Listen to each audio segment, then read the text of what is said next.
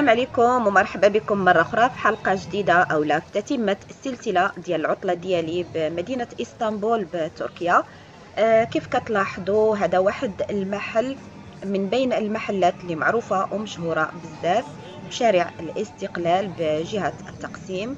آه هذا المحل كيعرض مجموعة من الحلويات التركية.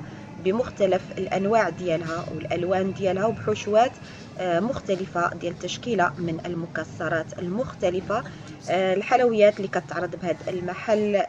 آه، من غير الحلويات التركية فيه كذلك الحلويات الأوروبية لي ماكارون الفينوازغي ملي غنشوفوا هذا المحل من الداخل غنشوفوا بأن كيعرض واحد التشكيلة من الحلويات التركية إلى جانب انواع البسبوسة والأنواع ديال الفينوازغي والماكارون والحلويات الأجنبية. مشهور بزاف هذا المحل بشارع الاستقلال الاسم ديالو آه، محل مادو. إلى جيتوا لشارع الاستقلال. ما تنساوش ذوقوا هاد الحلويات اللي أنا عجبتني شخصيا بزاف. أنا والزوج ديالي خصوصا أنواع البقلاوة اللي كيعرض هاد المحل. هاد المحل كذلك كيعرض أنواع متعددة ديال عسل النحل اللي كيجيهم من جبال الأناضول. كيف غادي تلاحظوا كيبيع كذلك الشهده ديال النحل يعني آه، حتى هي عاملها في علب وكتباع.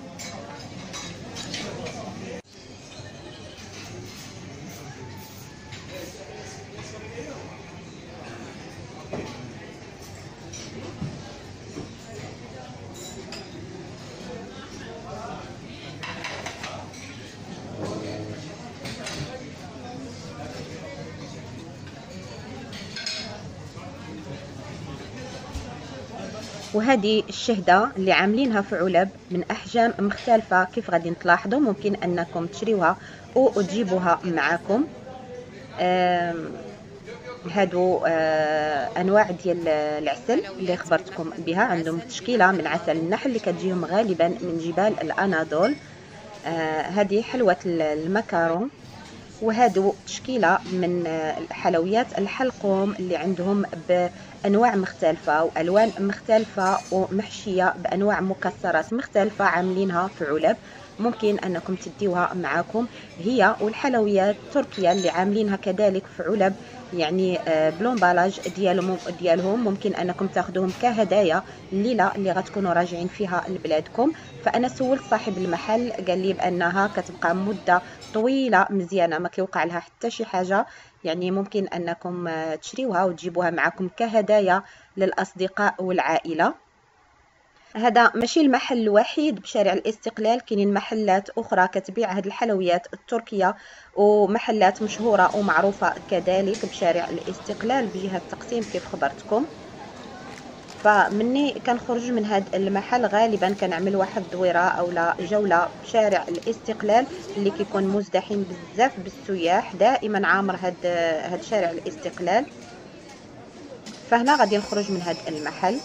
وهذا شارع الاستقلال فيه مطاعم ومتاجر ومقاهي وفنادق فيه محلات عربية آه، كيكونوا الأصحاب ديالها سواء من سوريا أو لبنان أو مصر. كاينين حتى أتراك كيتكلموا أحيانا بالعربية أو على الأقل كيفهموا آه، اللغة العربية الفصحى بطبيعة الحال ما كيفهموش الدارجة وإنما ممكن يتواصلوا معك بالعربية الفصحى.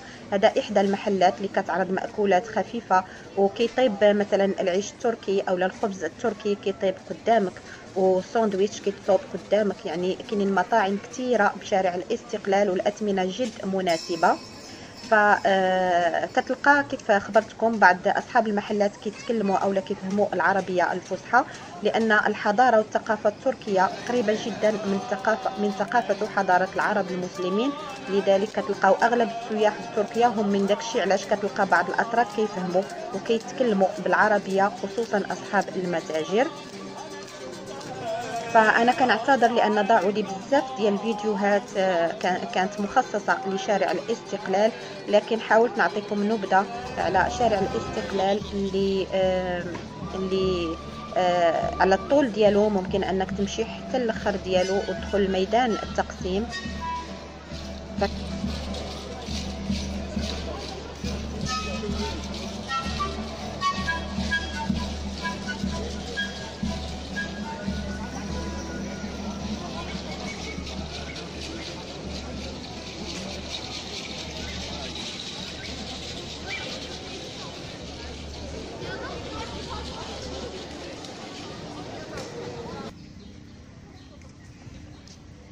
حنا هنا متجهين للجامع الأزرق. كنظن هذا اليوم الثاني آه، كنا متجهين للجامع الأزرق أو لا المسجد الأزرق أو لا جامع السلطان أحمد. هذه الساحة أو الفضاء الخارجي ديال المسجد. كيف كنلاحظوا معظم المساجد التركية عندها نفس الهندسة المعمارية ونفس الشكل تقريبا.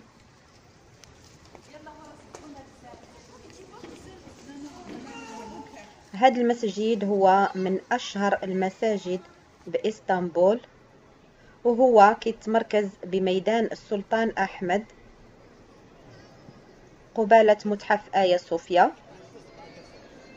هذا المسجد كيتعتبر من أضخم المساجد بالعالم الإسلامي وكيتعرف بالجامع الأزرق حيث الجدران الداخلية ديال المسجد كتغلب عليها زخارف وكتابات باللون الأزرق. هذا مكان صلاة الرجال ومراه كاين مكان صلاة النساء. بالنسبة للنساء غير المتحجبات فكيوزعوا عليهم آه، في باب المسجد يعني قبل ما يدخلوا للمسجد كيوزعوا عليهم واحد اللباس موحد باش يقدروا يعملوا زيارة للمسجد. هذه ملاحظة لاحظتها في معظم المساجد التركية. فبالنسبة للنساء اللي كيكونوا مارين من من حدا المساجد ووصل وقت الصلاة وما لابسينش الزي ديال الصلاة فكتوزع عليهم ملابس موحدة آه، في باب المسجد آه، مجرد ما كيخرجوا كيرجعوا الملابس للاماكن ديالها. وبالنسبة للأحذية كتوزع أكياس بلاستيكية آه، في باب المسجد على كل شخص. وملي كتخرجوا تترميو الأكياس البلاستيكية في القمامة.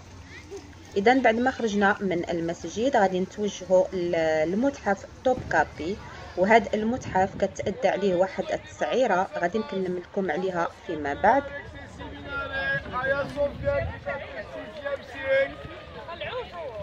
Le mausolée du sultan, le mausolée qui est en restauration, c'est sur votre droite Ahmed, 14e sultan.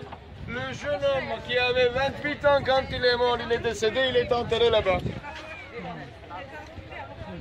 C'est lui qui a béni le quartier là, Aya Sofia, en face de Aya Sofia. Je répète, on est tous toujours à une altitude de 42 mètres, chers amis. اذا حنايا هنا متجهين لمتحف توب كابي أو لا اللي معروف بقصر السلطان سليمان أو حريم السلطان وقبل ما توصل لباب توب كابي على اليسار كاينة ايا صوفيا وباش تدخل للمتحف كتخلص واحد المبلغ معين من 35 حتى ل 40 ليرة. وجناح حريم السلطان كنظن اللي بغى يدخل له كيخلص كذلك تسعيرة مضافة. ما عنديش تفاصيل على هذه المسألة حيت في الفواياج أورغانيزي كي كيكون كل شيء خالص. لكن هذا الشيء اللي سمعت هو أن إلا بغيتي تدخل للمتحف ديال كافي كتخلص ما بين 35 حتى ل 40 ليرة. وهاد التسعيرة كتطلع اولا كتنزل حسب المواسم. توب كافي كان مقر سكن العديد من السلاطين العثمانيين وكان أكبر قصور مدينة إسطنبول التركية. فمن بعد سقوط الدولة العثمانية في 1923 تحول هذا القصر لمتحف. 1924 أي من بعد السنة كيضم هذا المتحف بعض الآثار المقدسة. الإسلامية بحال سيف الرسول صلى الله عليه وسلم البردة وشعر لحية الرسول صلى الله عليه وسلم عصا موسى عمامة يوسف. وفي خزينة بها العديد من المجوهرات آه، أهمها الماسة أو الألماسة الشهيرة في العالم اللي كتوزن 86 قيراط.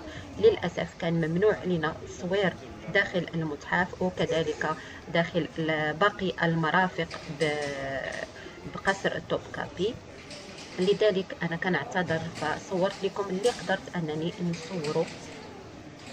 بما في ذلك جناح عرض الأسلحة وجناح المطبخ مطبخ السلاطين وجناح ملابس حريم السلطان. كان ممنوع علينا تصوير بهذه الأماكن. من بعد خرجنا وفكرنا نكتشفوا الأسواق التركية اللي مشهورة بإسطنبول. كان عندنا باقي شوية ديال الوقت وقلنا نمشيو نكتشفوا هذه الأسواق. أول شيء مشينا لو غران بازار وهذا هو المدخل ديالو. أنا عملت لكم المقطع بالعرض البطيء باش يبان لكم مزيان. الخارج ديال هاد لو غران بازار كاينين هاد المحلات التجارية. هنا في الخارج ديالو كيكونوا الاثمنه شوية مناسبة ولكن الداخل ديال لو غران بازار الاثمنه شوية طالعة. هذا البازار الكبير هو المكان المفضل للسياح لشراء الهدايا التذكارية والتحف والخزفيات والحلي لكن الأثمنة كيف خبرتكم فيه مرتفعة نسبيا مقارنة بالسوق المصري وسوق إيمينونو. أنا شخصيا كنصحكم الا بغيتو تقداو بأثمنة جد مناسبة تسولوا على سوق إيمينونو هو بجانب السوق المصري. يعني على رجليكم ممكن أنكم تزوروا هاد هاد الأسواق بجوج مع بعضياتهم في نفس اليوم والتنقل لهم يكون سهل حيت جاو محاذيين لمحطة الترام والحافلات. ونهار الأربع كيكون عندهم واحد السوق مهم مهم بزاف بمنطقة الفاتح. الاسم ديالو سوق الأربعاء. كيكون تخفيض كبير ومغري بزاف ديال السلع وفي السوق كاينين مطاعم يعني في الجوانب ديال السوق وفي المدخل ديال السوق كاينين مطاعم ومقاهي عربية آه سورية ولبنانية. إلى جانب المطاعم التركية والاثمنه في هاد المطاعم جد مناسبة يعني أنكم ممكن حتى تساليو التقضيه ديالكم. ويوصل وقت الغداء وتغداو في نفس المكان وتكملوا آه، التجوال ديالكم بالسوق الآخر. يعني إلا خرجتوا من سوق إيمينونو ممكن أنكم تدخلوا كذلك تزوروا السوق المصري فهما جنب بعضياتهم. وبالنسبة للمقاهي والمطاعم فالاثمنه ديال الأكل جد مناسبة. وما نقولش لكم الأكل تما لذيذ لذيذ بزاف. كاين مزيج ما بين الثقافة التركية والثقافة العربية كتحسي بها في الطعم ديال الأكل ديالهم والتتبيلة رائعة جدا. آه هاد الأسواق كيف ما اخبرتكم خصوصا السوق المصري مشهور بزاف بالتوابل. كاينين أنواع كثيره ديال التوابل. أنا شي أنواع كنت لاول مرة كنعرفها وكنكتشفها. يعني أسواق غنية بزاف. فعلا كاين واحد المزيج ما بين الثقافة التركية والثقافة العربية. كتحسي بها في كل شيء حتى في طعم الأكل ديالهم والتتبيلة اللي كيعملوا بالمشويات والسلطات تتبيلة رائعة جدا. هاد الأسواق كيف ما خبرتكم وخصوصا السوق المصري مشهور بالتوابل. كاينين أنواع كثيرة ديال التوابل اللي معروفة عندنا وحتى اللي ما معروفاش عندنا. أنا شخصيا بعض الأنواع كنت لأول مرة كنعرفها وكنكتشفها يعني هاد الأسواق غنية بزاف بالتنوع.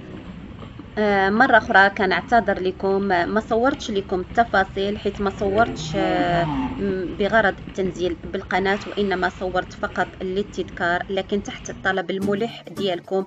أنا كنحاول ما أمكن ننزل لكم الفيديوهات اللي صورت أنا واللي صور حتى الزوج ديالي ونعطيكم جميع المعلومات. نتمنى نكون فدتكم وتنتظروا مني المزيد من من الفيديوهات على السفر ديالي لتركيا وإن شاء الله غنتعرفوا مع بعض على مناطق أخرى ومعلومات أخرى في الفيديوهات القادمة بإذن الله. أستودعكم الله أحبتي في الله وإلى حلقة قادمة بإذن الله.